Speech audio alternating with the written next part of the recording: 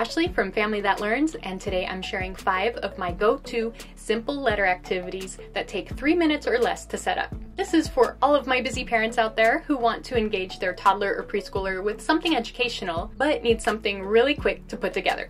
Let's get into it. First up is going to be a letter dot sticker match. You're going to need a piece of paper, dot stickers, and a pen. To set this activity up, you're going to go ahead and write the entire alphabet spread out on the paper. Make sure you have the letters small enough to fit under a dot sticker. Then you're going to write the entire alphabet on the dot stickers. You can also mix it up by writing capital letters on the paper and lowercase letters on the stickers, or vice versa, to give it a little challenge for those who are learning to decipher the two. This activity can be done independently by your child, or you can guide them along and use it as a lesson in recognizing letters or letter sounds.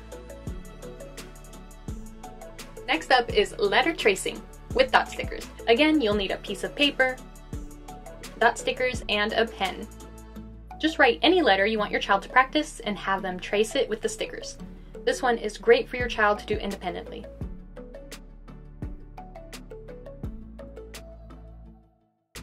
Next is Play-Doh stamping. You'll need Play-Doh, and letter manipulatives like magnet letters or puzzle piece letters. This one is super simple. Just flatten out the Play-Doh and have them stamp the letters into it. You can use this as an opportunity to go over letters and letter sounds, or you can put it out as an independent activity.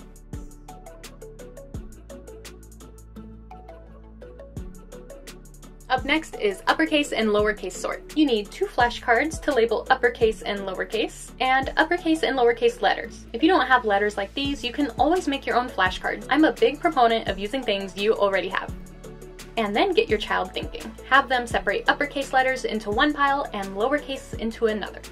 If your child is competitive, you can time them or race them with another set of capitals and lowercases.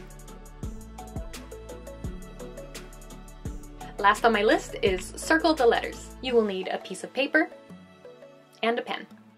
Write a few letters on a paper or whiteboard if you choose, and ask them to find each letter individually, then circle it when they find it.